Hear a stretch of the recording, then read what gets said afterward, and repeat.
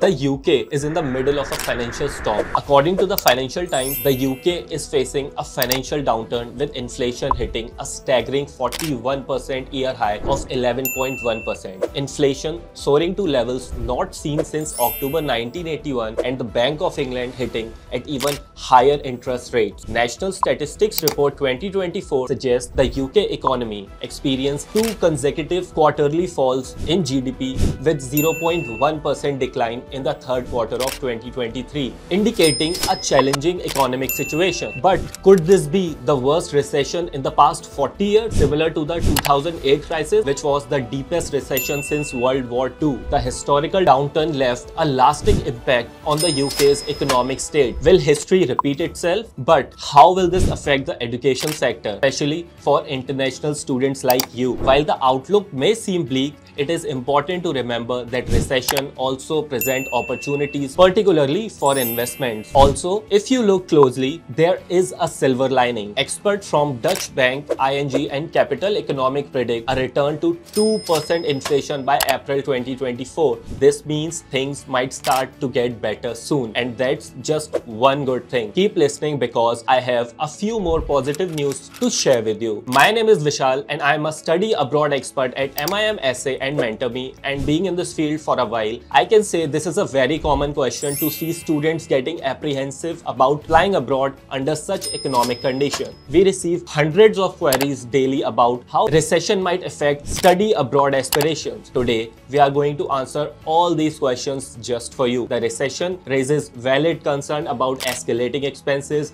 the peak inflation levels. What should you do? First, let's tackle the biggest expense, the tuition fee. While you might assume that tuition and living cost will skyrocket, universities are unlikely to raise fees significantly. International students are crucial for universities' financial health and the government, providing essential revenue. Given the overall economic downturn, it's likely that living expenses may increase slightly due to inflation, but tuition fees should remain relatively stable. Now, regarding meeting daily expenses and the potential need for loans, it is essential to budget carefully and explore various financial options, including both both collateral and non-collateral loans offered at competitive rates. Now, moving on to the ultimate goal of studying abroad, securing a job. Interestingly, students who started college in 2008 and graduated during or shortly after the recession found a robust job market waiting for them. It's crucial to understand that the job market you'll enter after graduating in 2024 or 2025 is expected to be much more stronger as companies will be on a hiring spree to drive economic recovery. Concerning visas,